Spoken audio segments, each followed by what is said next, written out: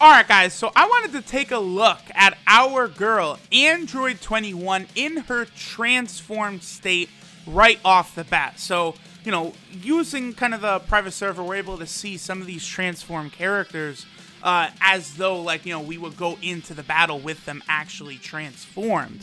Uh, you know, because we have the normal Android 21 right here, and then, of course, you know, after four turns, there's a, what is it, a 30% chance uh, for her to transform into, you know, uh, her form after she eats Cell, basically.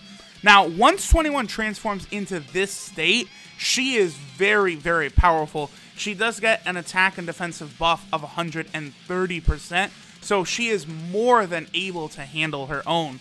Uh, since these units just came out on Global, I figured this was a perfect time to kind of see this, you know, how well uh, of course, as is always the case with showcases, uh, we got the 21s in slot 1, 7, and 6. Okay, so...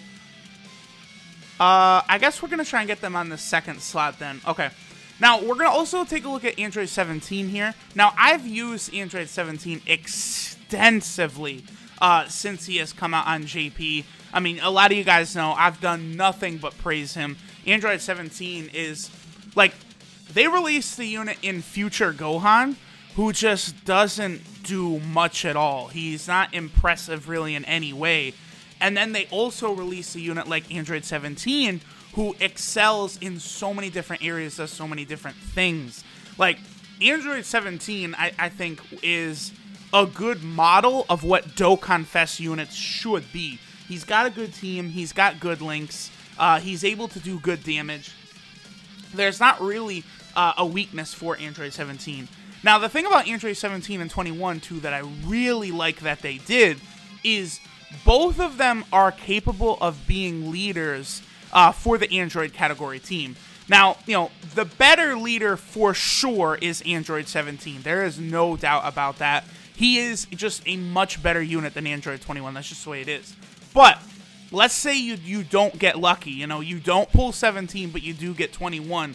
You can still run a proper category team with Android 21. She has a 150% uh, buff to all stats. So it's still, you know, basically the exact same uh, you know, as if you were running like a Realm of Gods team or, you know, the Universal Survival Arc team or something like that once Jiren awakens on Global. So uh, I, I I really like that they did that. I am hoping again that they will release uh like another leader for several different category teams. So so she's sitting here at 1.4 million. Of course, this is a 100% transform Android 21.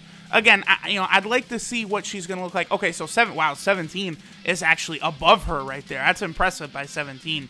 Uh, I want to see what happens uh, with maybe the uh, other STR Android 21 on the rotation, and then int Android 21 as well. So the three of them uh, on a rotation, that would basically give uh, Android 21 all of her links active. And then, of course, we would have the int 21 giving the, what does she give, 30% uh, to Android category units. So that's going to be very, very good.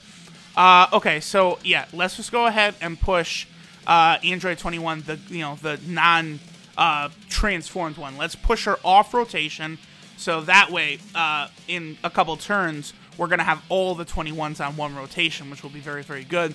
Uh, in the meantime, we'll let Cell and 17 kind of handle business here.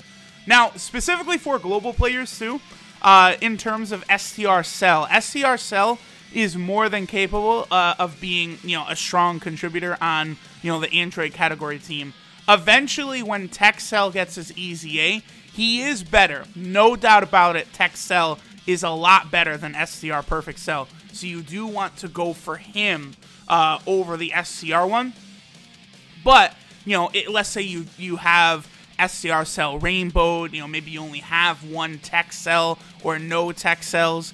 It, it's not the biggest deal, but tech cell is definitely uh, a superior unit uh, to our boy uh, STR Cell. And then, of course, I'm I'm presuming that Global will probably get LR Cell before LR Bardock because Global got the Android category so early. So when LR Cell comes out, I- have seen a lot of people uh, very much kind of underrate, I think, uh, LR Cell.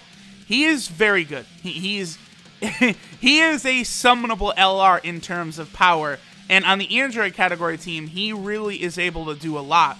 Uh, it's very easy for him to super. Oh, 21. There you go, my girl. Uh, he does uh, have an AoE super. Okay, 1.7 right there. That's pretty good. I think with STR21 on the rotation, we probably could get Android 21 over a 2 million attack set, which is very good for a unit that's not a Dokkan Fest exclusive and is not an LR. So yeah, it does look like 17 is able to get higher than her. That's not really too much of a surprise. So again, Android 17 is just a phenomenal unit, right? Uh, no surprise at all there. Um, okay. The other reason 17 is just so damn good is that three key passive from him, just this team, you just don't have any key issues whatsoever. Like, you could kind of just use any androids you want. The team is completely overflowing with key. That's why if Super Buu, the new transforming Super Buu on JP, if he had, like, a key passive, like, that's mainly, the category is mainly just, you know, a, like, a Big Bad Bosses category. Like, like say Big Bad Bosses, think of units that have Big Bad Bosses. That's essentially what Super Buu's category is. If he had any sort of key passive, that team would be incredible because you could do such a wild combination of Buu, Frieza, and Cell cards to really, really make the team very, very interesting. Uh, okay, so this is the rotation we were looking for right here. Um, okay, so I feel like STR21 would probably finish uh, Syn Shenron off in one hit, but I don't think the Int one would. So we'll do this.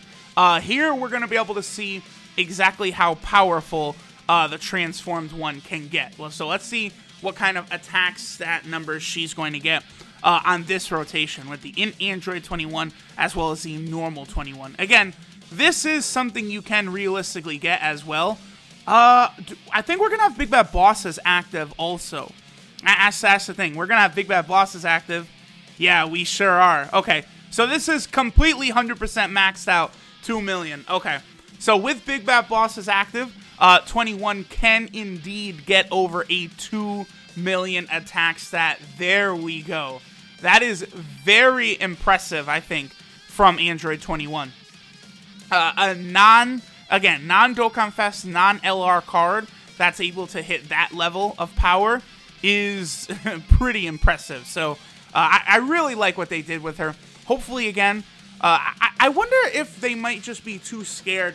If they are to release secondary leaders for some of these categories, it probably will be LRs. Because I wonder if they would be, you know, too scared to release, let's say, a Dokkan Fest, uh, you know, Majin Vegeta, who is a uh, Majin Buu category leader, right? Like, would they be scared to do that? I don't know. I feel like people, like, that would sell very well, right? Like, if then we had a Majin Vegeta Dokkan Festival event to go through, too.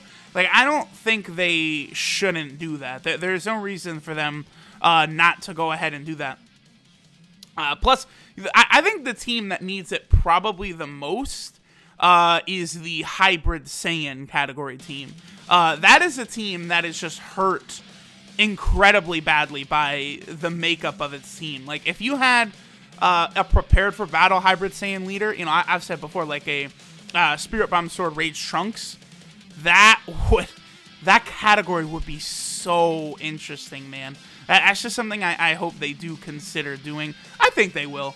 And speaking of that, like I really hope Merge Zamasu or Spirit Bomb Sword Rage Trunks can be some of the next units to get uh, uh, cards or revamps because like Merge Zamasu and Rage Trunks, like they're they're just at the point. I talked about this before, but they were just at the point, like the cutoff point of where cards have stayed very relevant, right? Like all the 120% leaders are still like very valuable. You know, Super Saiyan 4 Goku, STR Janemba, uh, Angel Tech Goku, Super Saiyan 3 Physical Gotenks they're all like incredibly useful to where I don't think like a lot of them need like another upgrade. But like Int Blue Vegeta, Merge Zamasu, and Int Spirit Bomb Sword Rage Trunks, those three, the last three to come out before Super Saiyan 4 Goku, definitely, needed revamps, uh, stronger versions. We got that for Int Blue Vegeta uh, with uh, Evolution Blue Vegeta. Hey! So we're gonna get the we're gonna be able to see her transformation as well. Oh, the licking of the lips! No, 21 is the goat. Let's go. Perfection right there. I love it. That is the perfect way to finish up with her transforming.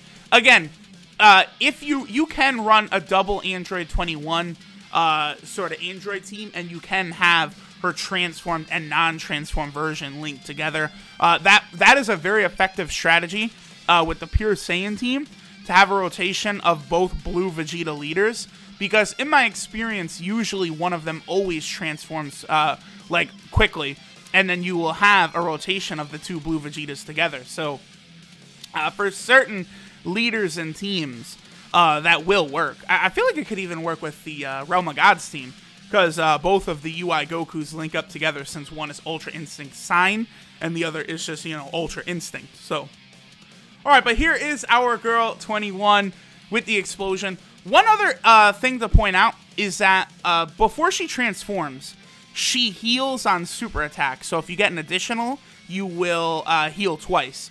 But after she transforms, she heals from her passive. Like, she kind of swaps. Pre transformation, she lowers enemy attack and defense in her passive and heals on super. And then transformed, she lowers enemy attack and defense on super and then heals from her passive. Like those two things uh, just kind of swap like that. So that is another thing to consider. That's another reason the Android team is so strong, by the way, is if the enemy is capable of having their attack or defense lowered, uh, it's going to activate non-stop because all these fuckers pretty much have it. Like, so many of these units are able to lower attack and defense and stuff like that. So there we go, guys. There's what Android 21 can do at her full power. Here's what she would look like uh, if she, you know we were able to have her transform from the start of the fight. Uh, one of my favorite units in the game. Absolutely love this girl right here. Android 21. Damn. All right. Thanks for watching, y'all. I'll catch y'all next time.